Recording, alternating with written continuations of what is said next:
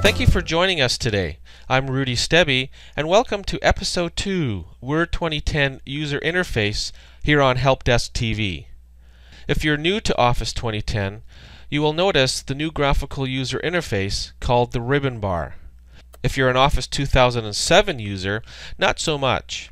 You will be glad to know that the interface of all the Office programs is pretty much the same. Follow along with me as I walk you through this new ribbon user interface, and you'll know what's what by the time we're finished. In the upper left hand corner of the window is the File tab. You would go to the File tab to find commands for creating, opening, and saving files, as well as doing other file management tasks. Notice the Options command. You choose Options to open the Options dialog box and tell the program you are working in how you want it to work. We will go into more detail with the Options tab in later episodes. To leave the File tab, click on a different tab on the ribbon bar. No matter where you are in Office 2010, you see the Quick Access toolbar in the upper left corner of the screen. This toolbar offers three commonly used commands Save, Undo, and Repeat. You can place more buttons on the Quick Access toolbar as well as move the toolbar lower in the window, which I will go over in a later episode. Across the top of the screen is the ribbon bar, an all-in-one user interface that replaces the menus and toolbars found in earlier versions of Word. The ribbon bar is made up of a series of tabs.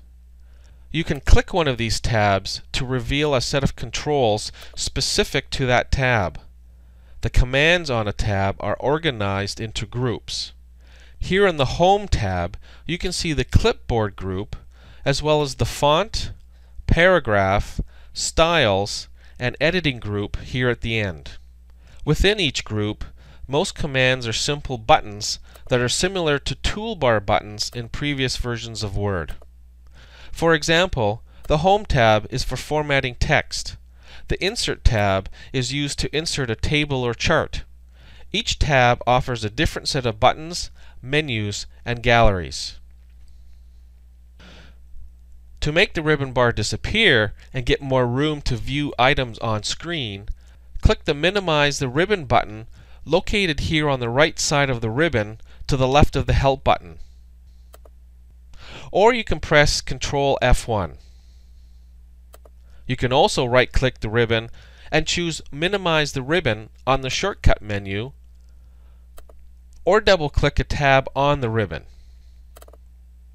To see the ribbon bar again, click the Minimize the Ribbon button, press Control F1, double click a ribbon tab, right click a tab name or the Quick Access toolbar and deselect Minimize the Ribbon on the shortcut menu. While the ribbon is minimized, you can click a tab name to display a tab. I hope you enjoyed today's Help Desk TV.